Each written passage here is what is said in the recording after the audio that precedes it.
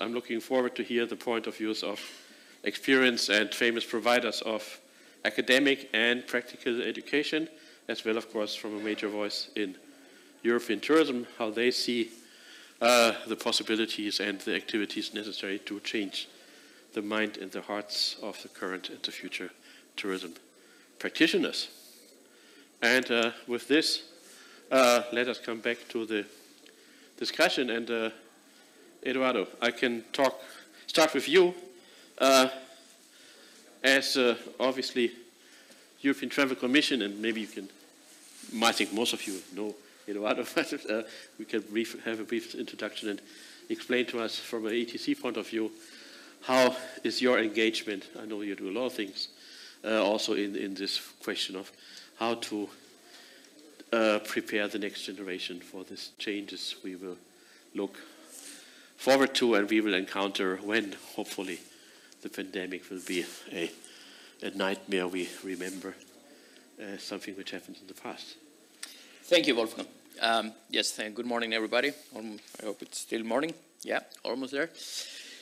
So, profoundly changes are coming to us, and we know that. Um, we very much talk about uh, resilience of the sector. Um, what I always say is, and quoting the, the author of The Little Prince, Antoine de Saint-Exupéry, is that our role is not to forecast the future, but to shape it. You know, we cannot know what is going to happen in 10 years. You know, a decade is a lot of time. What we can do is start changing things that we can change.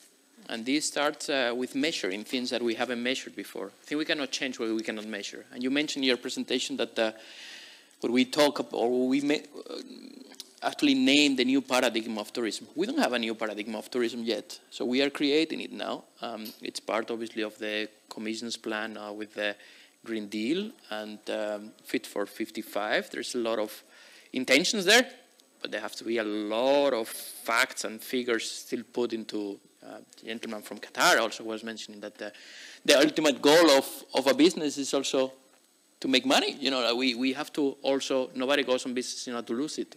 Uh, some, of, some of them do it.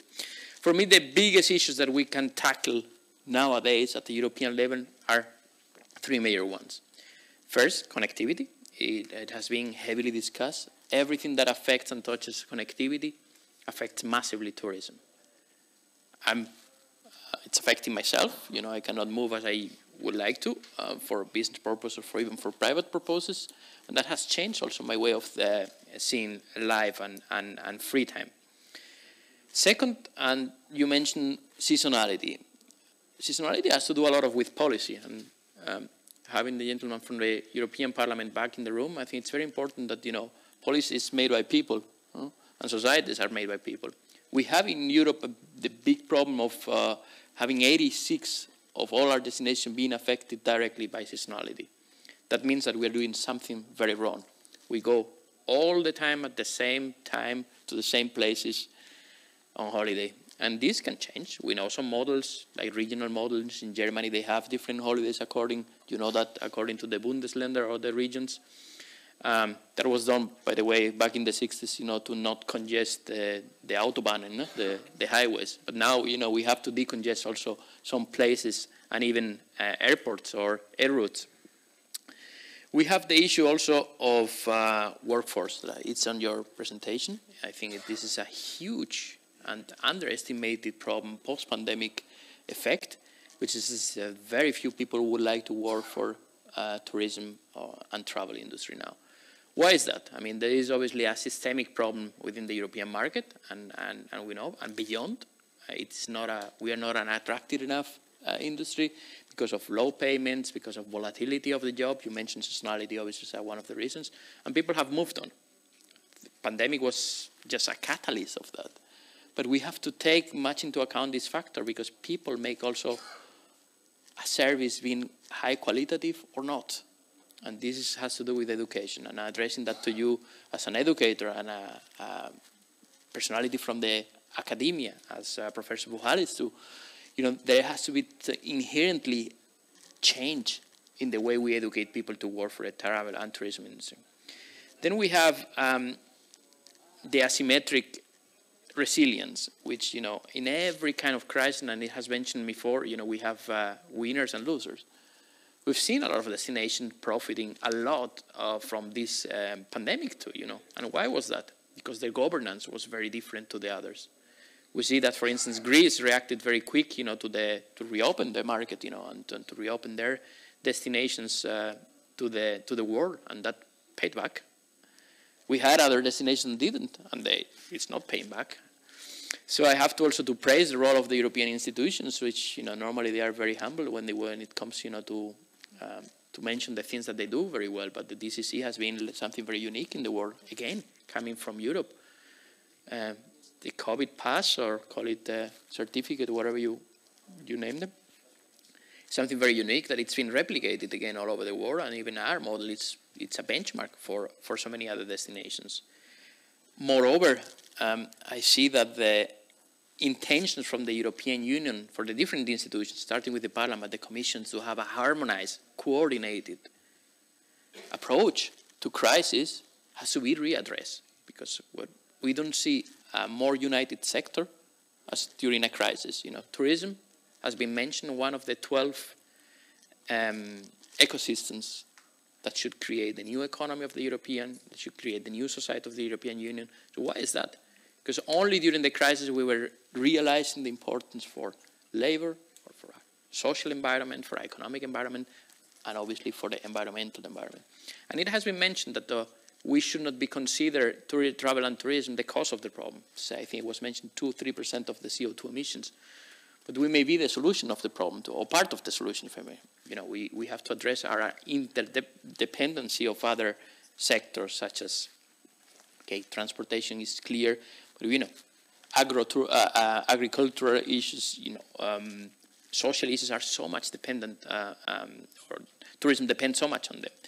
So you see that this kind of interconnectivity let me think that tourism is going to have a, such a huge role in the next decade within the, you know, the, the policy here at the European level. And it should have it. It's not I'm saying that, you know, it has been demonstrated. Um, and maybe just a last uh, thing before uh, moving maybe to, to the next speaker is the issue of gender equality. And, you know, I cannot address that more. There's a lot of men in black again in this room.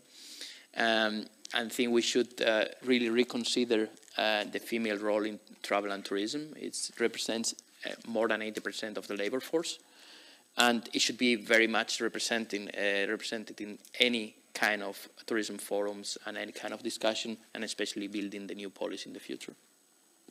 Thank you very much for that, and thank you also for raising this the, the, the last point because when we talk about the glass ceiling, uh, which is uh, uh, when I said, yeah, mostly that the, the, top jobs are mostly given to white persons, uh, actually more precisely it is white men. Mm-hmm. And, and there's another glass ceiling for, for women in our industry as well. And uh, yeah, so I think this is uh, clearly the, the, the, the COVID-19 crisis has been helping more people to understand the importance uh, of, of tourism. But uh, there has been a lot of discussions in many countries that uh, we also found that the people working in healthcare and in pensioners' homes, that their job situation is so bad and their payment is so bad, and we have to do something to, uh, um, to, to better their uh, employment situation. I have not heard much of this kind of ideas for tourism, when actually it is true for tourism as well, that uh, unfortunately our industry is not the most sexy industry to start your uh, uh, career, career as, a, as a professional. And so that is hopefully also something which will be uh, come to the forefront. That also uh, to give very good service, you need uh, good people. You need people who are dedicated to their job and and uh, like what they what they do. And part of this is that they are paid properly for for, for that. So with this, maybe uh, Dimitrios, uh, let's go to Hong Kong. and so you are well, you're, you're working normally in the UK and now you're in Hong Kong, but you're a Greek and you just heard the praise for Greece doing the right thing. Uh, so, from the academic point of view, uh, how do you see, and I know Hong Kong Polytech is one of the uh, universities at the forefront of new ideas and change, and certainly uh, very much aware of, of uh, intercultural differences. So, what's, what's your point on how to get these changes also into the uh, education and into the minds of the next generation of uh, people working in our industry. Thank you, Wolfram, and uh, great to be with you, and fantastic to see uh, Eduardo. And Eduardo covered a lot of uh, the things I want to say. Uh, I'm currently away from Bournemouth University and sabbatical in Hong Kong Polytechnic University. So I'm having a global perspective, if you like, on what's happening with uh, tourism and how uh, COVID has affected people.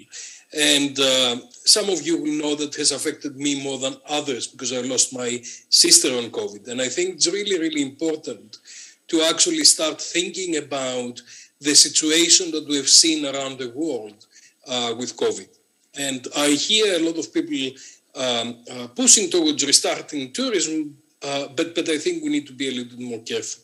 Um, and coming into Hong Kong from the UK, um, I had 21 days of quarantine, hard quarantine in a hotel room, and I had nine PCR tests in order to be released to the community. Uh, so this is the one extreme, if you like, um, the other extremes in different places. I think it's really critical uh, to understand, and we've just started to understand how important tourism is. Because up to now, tourism was something, an activity that was happening in the background, and quite a lot of people were actually quite annoyed about tourism. And you mentioned, Wolfram, uh, uh, about over tourism. As you know, I don't believe in over tourism. I believe in badly managed tourism. I believe that tourism needs much more attention and needs much better planning, development, and support in order to bring benefits to communities. And what we have seen communities around the world, I was in the summertime, I was traveling in Greece because I wanted to support communities and uh, especially on the islands. Most of the islands were absolutely desperate. I was speaking to people and they were telling me the year before in 2020 they had an incredibly difficult year and they were amazed that they, they survived the winter time.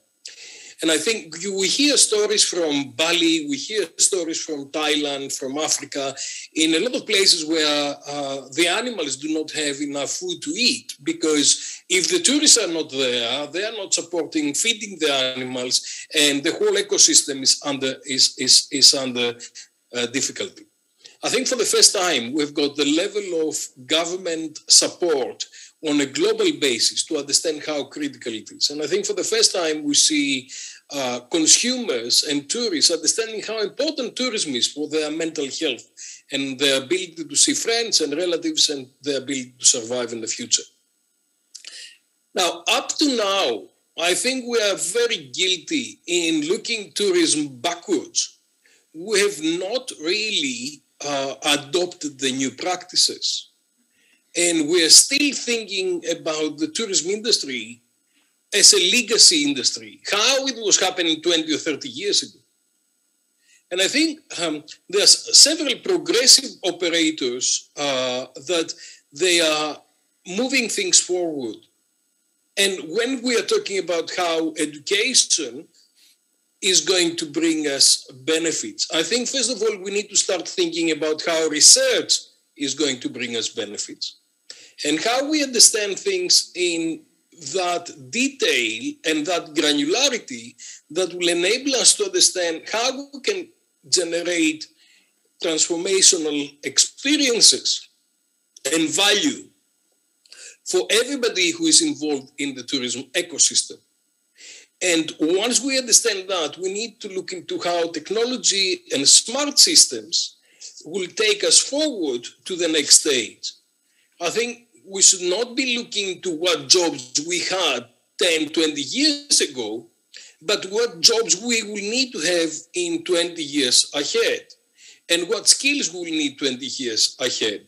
And we need to start looking to how can we prepare the industry for the next stage. Right now, there's a huge shortage of labor all over the world because a lot of people moved away from tourism and hospitality and they started doing because they couldn't find they couldn't survive they couldn't find work and they went into logistics they went to a lot of other industries i think we need to start looking to what value do we need in the future and then start thinking about what can we do to co-create this value with the young people. I'm very privileged to meet young people every day and see how passionate they are about this industry and how they would like to take things forward. But quite often they are very frustrated because they are not given the opportunities. I think it's critical that we understand that um, most of the jobs that people will do in 20 years' time will be very different to the jobs that they were doing 20 years ago. And I think we are all problematic in the sense that we have got a lot of legacy thinking. In my area, which technology and smartness, GDSs, global distribution systems, are still dominating the industry. Yeah. And we've got a real difficulty in adopting the new innovative approaches to move things forward.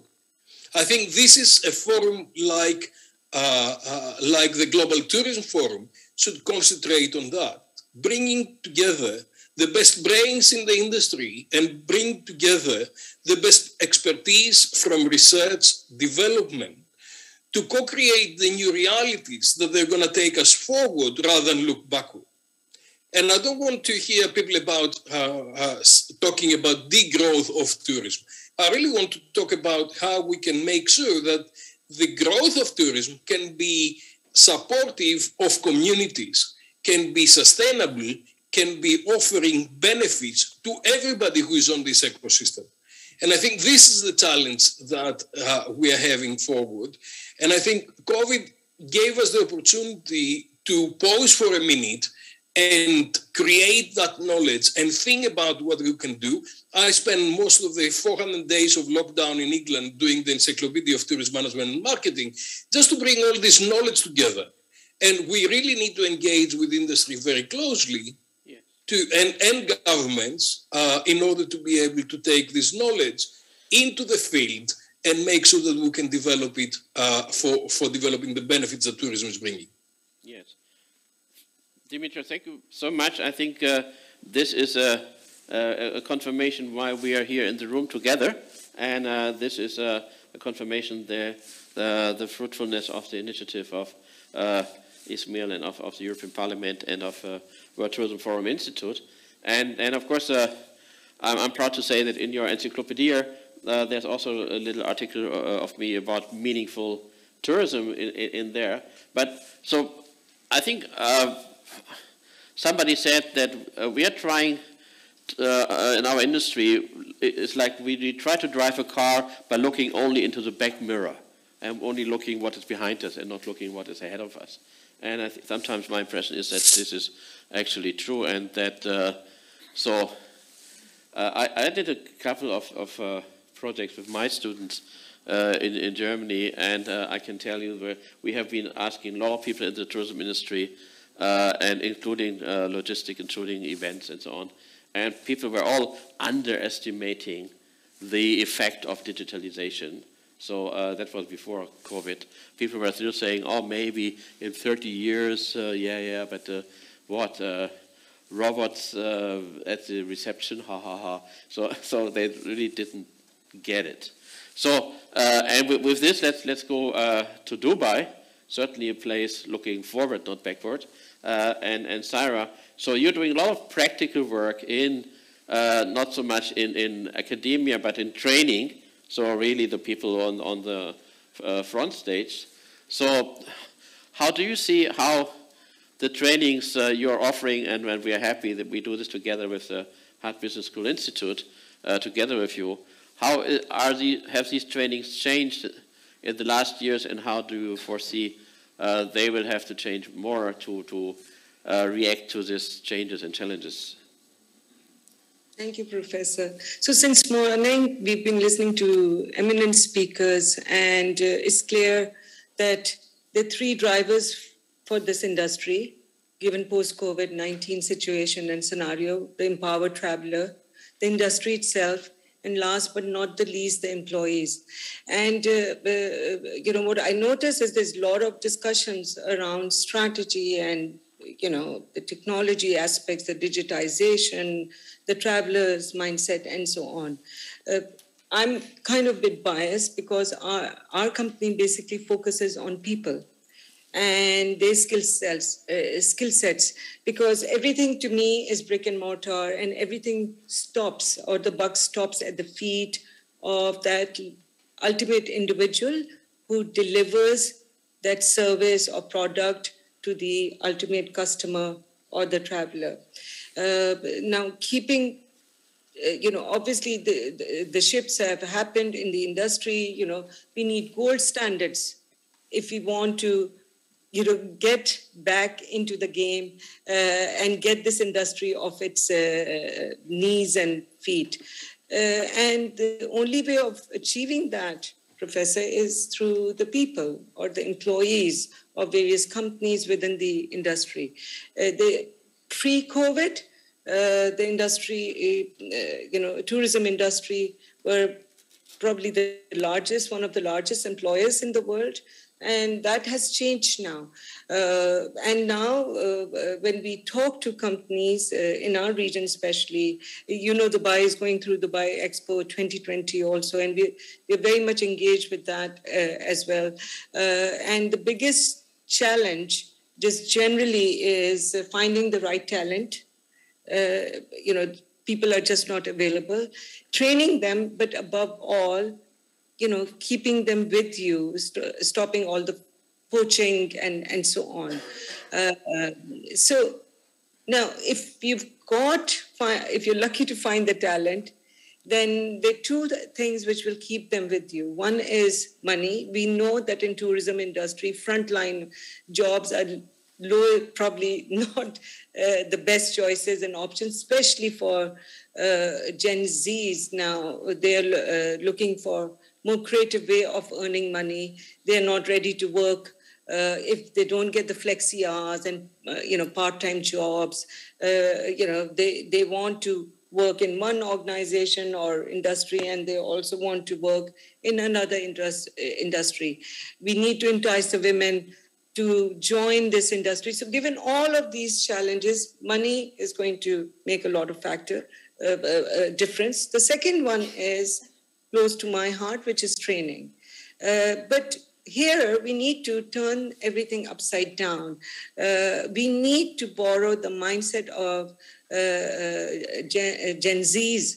And, uh, you know, because, you know, baby boomers like me or Gen X or even the millennials, you know, our thoughts and experiences are important, but they cannot be the drivers for the future. So, uh, uh, you know, I was listening to the eminent uh, professor from Hong Kong, and, uh, you know, it's a young minds, and they're frustrated because they're not getting more and more involved. So, the training needs, uh, and the kind of work that we, my company is doing with HATT Institute is not about lip service, and it's not anymore focusing on yes sir, no sir, three bags full sir kind of training it needs to be uh, about service, but more uh, injecting into the DNA of the organization what service means to the new empowered traveler. It's all about profiling the traveler deeply, really, really, truly understanding. Uh, uh, his sense of purpose or her sense of purpose and why what is it that they're seeking?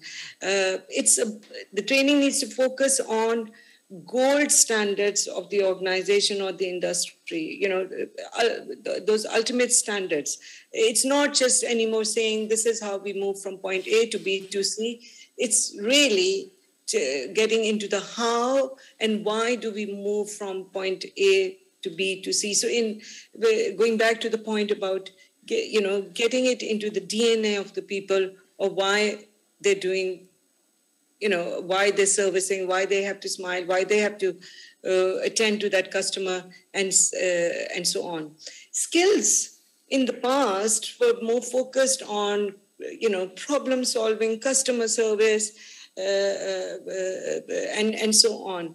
More and more, what the employees in hospitality or travel agencies or other tourism sections, they, the training that they'll need is more, uh, it needs to be more about self leadership because we'll want them to be self accountable, be able to make decisions and choices. Doesn't matter whether they're you know junior most employees or senior most uh, employees. So leadership cannot be a department or a right of just one person. It's got to cut across.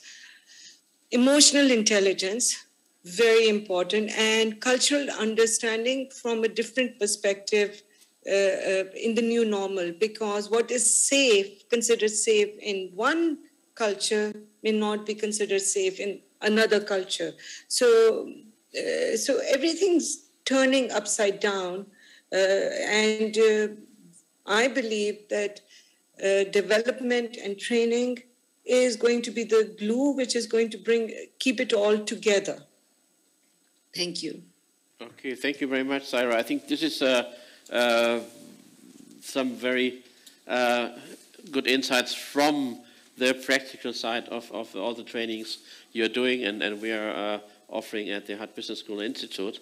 And uh, it, so it's no less than what you're saying, turning things upside down. So it's not a little change we have to do, it's a big change we have to do. And, and uh, also, as you, you mentioned, uh, Dimitrios, so of course, uh, there are a lot of good uh, ideas and, and, and, and, new concepts, and uh, it will be uh, our job, and that includes the politicians, that includes the industry organizations, to let these ideas come to the front and let